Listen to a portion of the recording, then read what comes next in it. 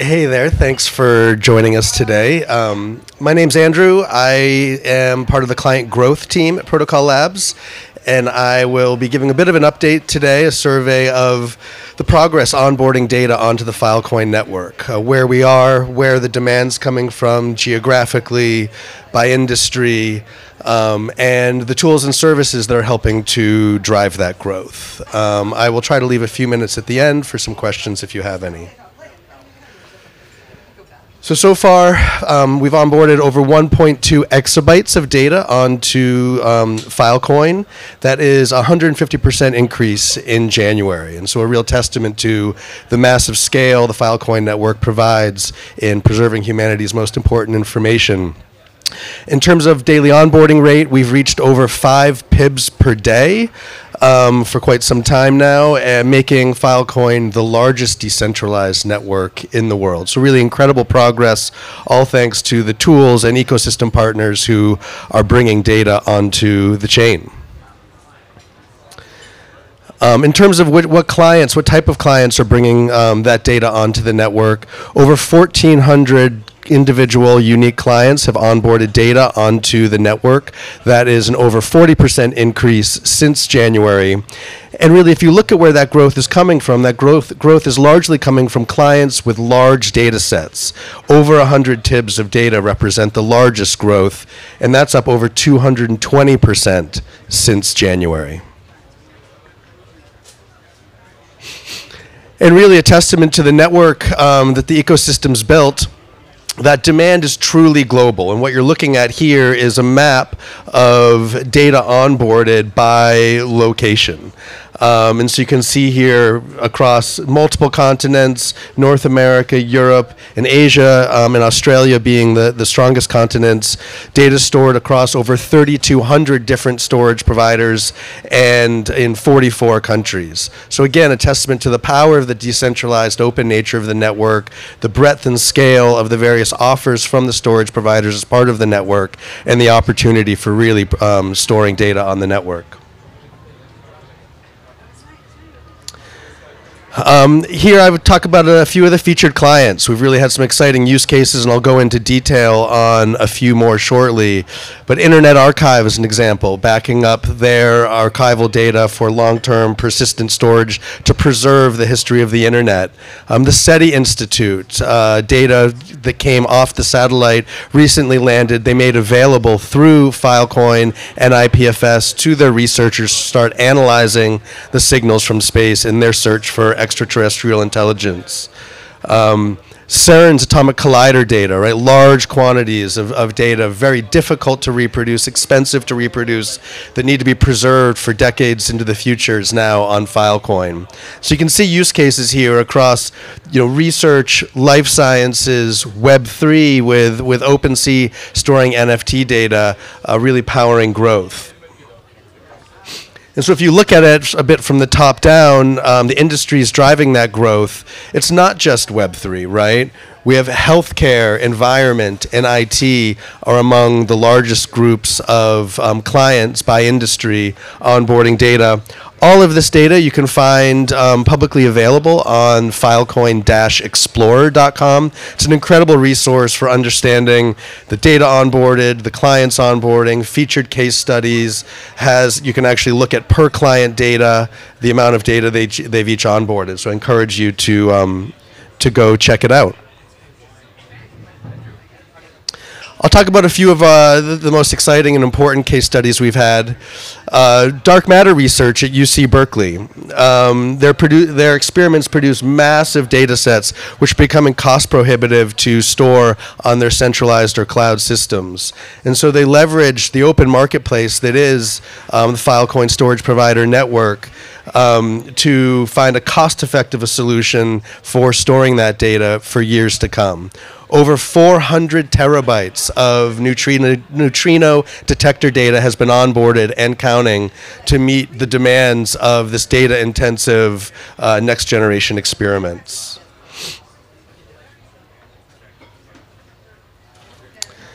The Victor Cheyne Cardiac Research Institute in Australia is another great example. Um, their, their research on their ever larger data sets um, and existing storage solutions didn't provide a high degree of data integrity. In you know, long-term um, deep data analysis, preserving the integrity of data for reproducibility of experiments and analyses is, an important, to is important to making scientific progress. Um, Filecoin is really the only network out there that provides strong cryptographic guarantees of data integrity through its content uh, identifiers, which is incredibly important to that research and analysis.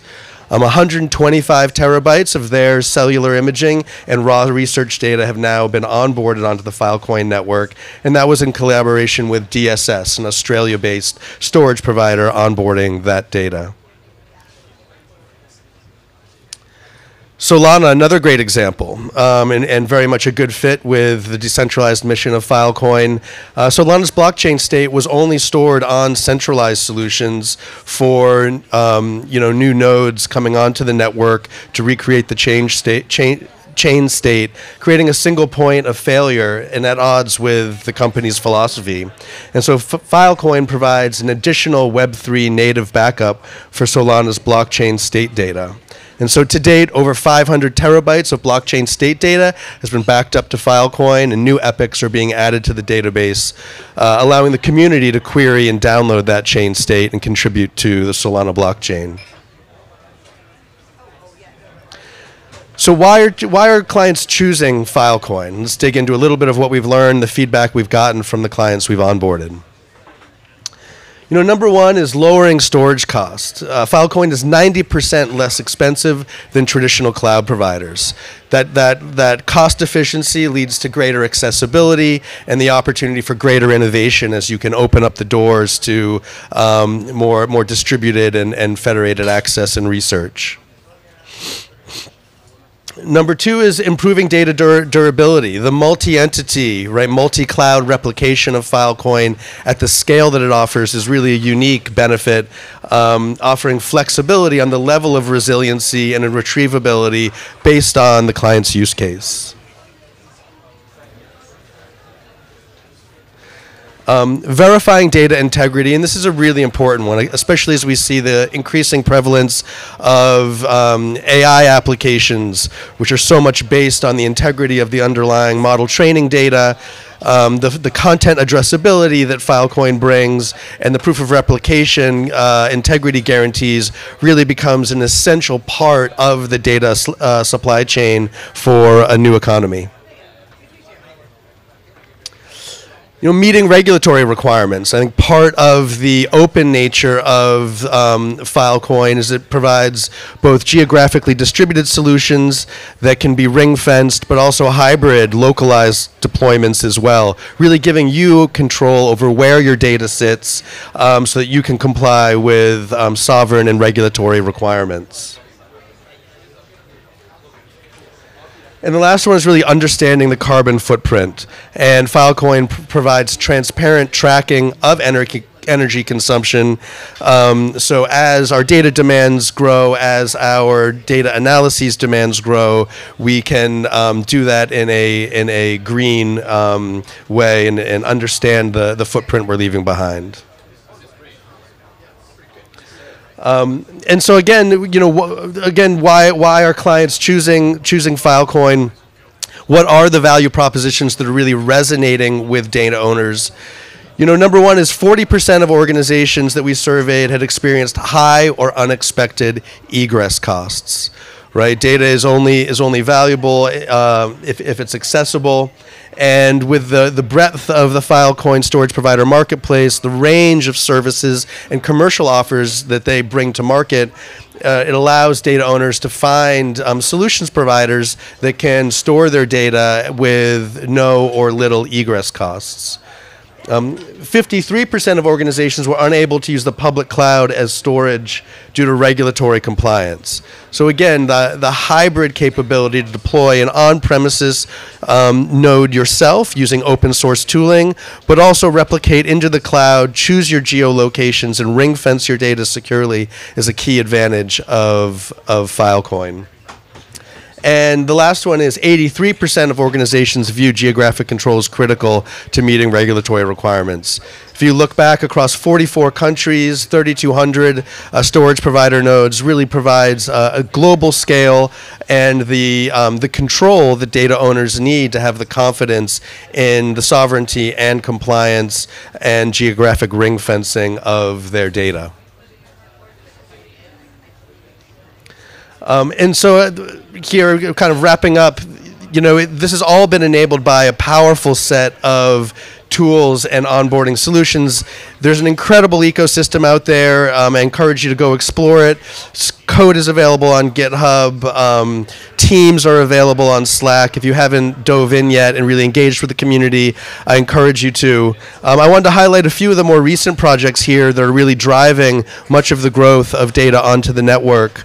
Um, you know, number one is Singularity, and it's really facilitating petabyte scale data ingestion for storage clients and providers. It provides a modular package, data preparation, flexible deal making, data indexing and retrievals, all in one open source, easy to use tool. Another one is Delta. If you were here for the last talk, you probably learned a bit about this. Um, part of Filecoin Data Tools includes a deal making engine and the Delta Dataset Manager, and so yet another path for, for getting data onto the network. Um, Spade there um, is a Filecoin network storage proposal management solution. And so in that deal making flow on Filecoin, there are multiple models, a push model, a pull model, and Spade really opens up new opportunities for customizing that deal making flow. Um, whether you have a predefined prescriptive set of, of storage providers you want to work with as a data owner, or whether you want to open up your deals to anyone who might come in, uh, Spade provides both deal making models. And then lastly, again, part of Filecoin Data Tools, EdgeUR, which is a gateway for hot storage and retrievals using IPFS. So where Filecoin provides a deep archive solution, um, putting EdgeUR in front of it, leveraging IPFS, enables hot storage and retrievals as well. Um, so I encourage you, if you haven't already, jump into GitHub, uh, join the Slack. There are a million wonderful conversations going on. Um, if you want to talk with someone directly, there are a couple QR codes up here. You know, one, if you're a data owner or a service provider or developer looking to leverage the Filecoin network for data storage and your application development, that's the QR code on the left um, and it'll take you to a, a, form to fill out, and we'll be sure to get back to you. If you're interested in becoming a storage provider, providing storage capacity, um, hot and cold retrievals on the network, uh, that's the QR code on the right, and we've got a, uh, a great team there to assist you with any questions you might have on what it might take to, um, to become a storage provider on the network. So thank you very much. That's my overview today. I guess I'll, I'll open it up for a few minutes if anyone has any questions. Otherwise, we'll uh, pass it on to the next speaker.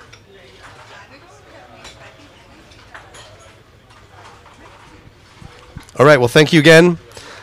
Have a good one.